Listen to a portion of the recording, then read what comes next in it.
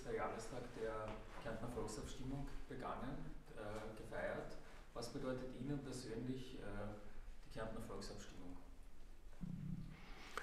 Nun einmal historisch gesehen äh, war, der, war, diese Maßnahme der Alliierten, äh, glaube ich, richtig, nämlich die Bevölkerung zu fragen, na, wollt ihr lieber Teil der jungen Republik Österreich sein, also Kärntens, oder wollt ihr lieber dem sogenannten SHS-Staat äh, südlich äh, Kärntens angehören? Und die Bevölkerung hat sich damals mehrheitlich für den Verbleib bei der jungen Republik äh, Österreich entschieden, was ich sehr interessant finde, weil ja außerhalb von Kärnten die, die Sorge groß war, dass dieser Staat überhaupt nicht lebensfähig sein wird. Aber hier gab es eine Gruppe, die gesagt hat, ja, wir wollen, wir wollen da bleiben.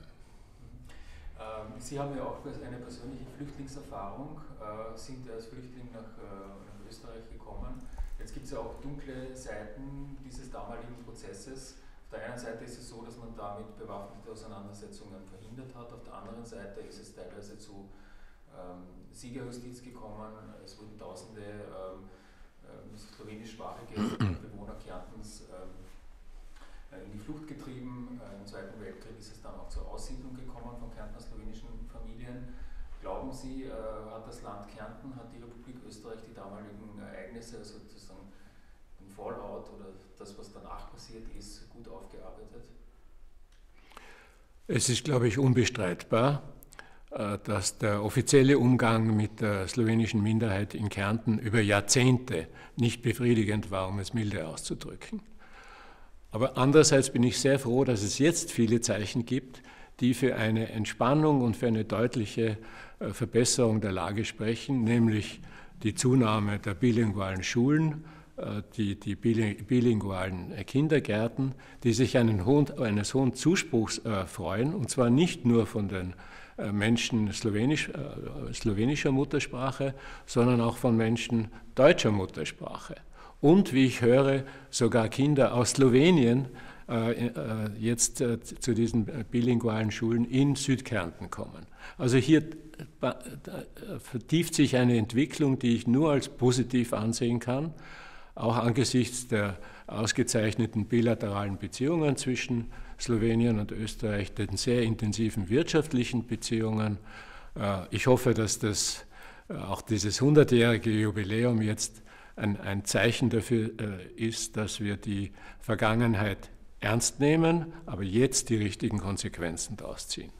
Mit Ihrem slowenischen äh, Kollegen Borut Bachor äh, setzen Sie ein Zeichen der Versöhnung, des Blickes in die Zukunft, ähm, das auch von sehr vielen in Kärnten mitgetragen wird, man kann sagen von der Mehrheit der Bevölkerung. Trotzdem gibt es aber auch ähm, äh, Misstöne, äh, und auch äh, bedenkliche Akte, wie zum Beispiel, dass jetzt noch äh, Denkmäler enthüllt werden für jemanden wie den Hans Steinacher. Ähm, wie bewerten Sie das? Nun, erstens, Sie haben vollkommen recht, es ist das erste Mal, dass beide Präsidenten, der Bundespräsident aus Österreich und der Staatspräsident aus Slowenien, Borut Pachor, an dieser äh, an diesem Festakt zu 100 Jahren Volksabstimmung in Kärnten teilnehmen. Das ist ein sehr schönes Zeichen ähm, und das nicht vom Himmel gefallen ist, sondern ja eine Vorgeschichte hat, die ich schon versucht habe zu skizzieren.